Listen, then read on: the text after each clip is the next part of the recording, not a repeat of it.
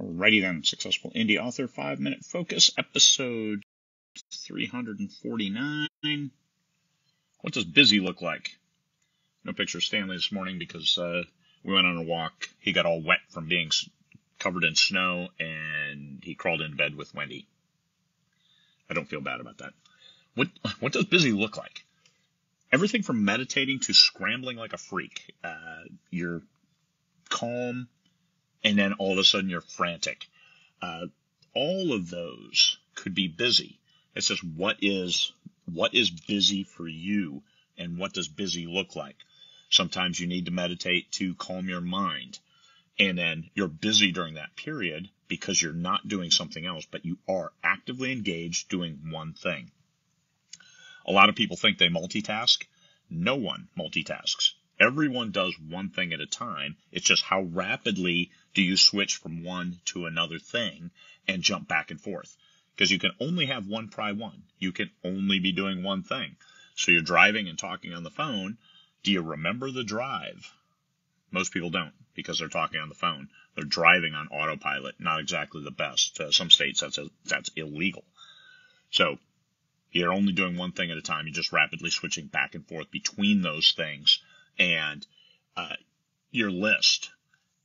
I have checklists, so I'm busy. I'll do one thing. I like checking things off that list. I like making a, uh, uh, adding things to the list every day, making sure I get done what I need to get done, and then moving on and keeping moving forward and keeping that laundry list. Actually, uh, kind of kind of weird in that I keep that laundry list of checked lists and scroll it down and keep the new stuff up at the top and just add uh, the the uh, lined out items and keep pushing it down. Pages and pages of lined out items.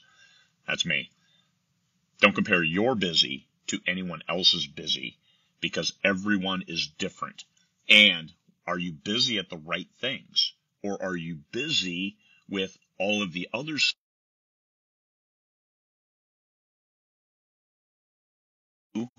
with what you need to be busy with. This is where you have small children, you have families, you have uh, uh, duties to your family. Sometimes you're busy with those, and it's way out of your control. How do you grab How do you grab some control over that, and how do you keep moving forward? That's up to you. Everybody has their own challenges in what they're busy with. How can you control and manage being busy at the right things, especially when it comes to your career. If you're doing this uh, as just 30 minutes a day, how can you shepherd those 30 minutes and make sure that during that time you are busy with the right stuff you need to be busy with for your business? Uh, whether it's writing, whether it's marketing, whether it's uh, establishing your brand, all of it, or even ordering covers, little things like that, making sure managing the project of your self publishing business and then, are you busy at the right things? Uh, you dive on, you have your 30 minutes. Are you jumping on TikTok to see, geez, I think I should do TikTok because I, my, my I've seen some other people, book talkers are, uh, are making bank and, uh, I really need to do that. I need to really touch the audience. So you get on TikTok and you watch videos for 30 minutes. At the end of it, you have no idea where that 30 minutes went because you watched a bunch of weird stuff and it was neat and a lot of it was, uh, was revolting and, uh, the time is gone. Are you busy at the right things? What are you doing and what needs to be done? And then be busy with that stuff. How much of your time are you giving away?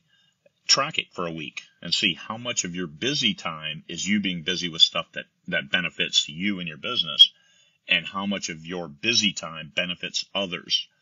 Uh, people with adult children who, who call every day and need things, uh, how much of your busy time are you spending there? Yes, we all love our children and we give them the time they want and need. But that's a big question. How much do they need? And can they respect you and what you're doing in helping to move your business forward and establish their legacy? Hey, if I make a million dollars as a published, self-published author, I'm going to die because we all do. Nobody gets out alive. And hey, that's going to go to you. So stop bothering me long term. Bird in the hand, two in the bush.